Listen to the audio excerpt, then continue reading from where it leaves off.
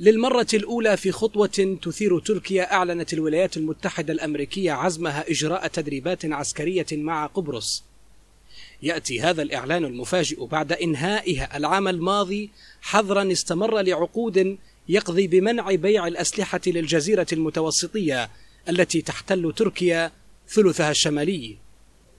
وزير الخارجية الأمريكي مايك بومبيو قال إن وزارته ستقوم للمرة الأولى بتمويل تدريبات عسكرية لقبرص كجزء من تعزيز العلاقات الأمنية التي وصفها بالآخذة في التوسع بهدف فرض الاستقرار في شرق البحر الأبيض المتوسط.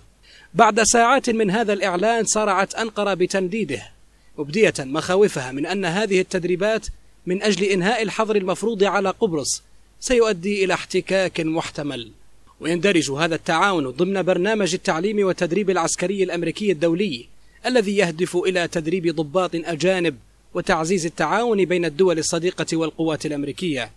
وكالة الحرة الأمريكية المقربة من الكونغرس قالت إن هذه الخطوة قد تغضب تركيا الحليف للولايات المتحدة في حلف شمال الأطلسي.